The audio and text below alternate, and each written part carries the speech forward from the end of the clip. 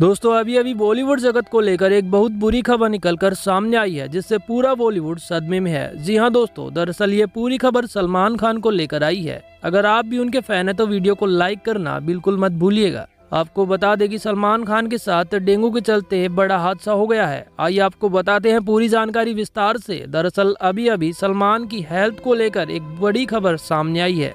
सलमान खान को डेंगू हो गया है। कहा जा रहा है कि पिछले चार पाँच दिन से सलमान खान की तबीयत खराब चल रही है। डेंगू होने की वजह से उनकी फ़िल्म और शो की सारी शूटिंग बंद कर दी गई है।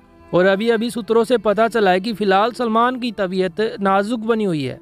और यह सब होने के बाद सलमान की पूरी फैमिली भगवान से दुआ लगाए बैठी है कि सलमान खान जल्द से जल्द ठीक हो जाएँ।